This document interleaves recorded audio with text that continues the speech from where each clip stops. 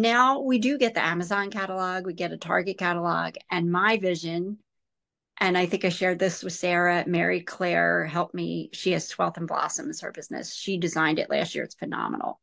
Is to have this in our homes so that when people are you know the amazon catalogs coming in and the target catalog and the kids are making their list that there's this other option because um, we live in a golden age of catholic gifts you know there are catholic toy makers that are i mean their stuff is great mm-hmm. and um, like one member is maggie she has a saintly heart and she's actually a i think she's an occupational therapist or a speech therapist so her toys are not only Catholic, but they will help children with fine motor skills and speech. And awesome. It, I mean, there's just phenomenal things out there that Catholic families could have to teach the faith to their children, to decorate their homes in a way that's modern but centered on faith.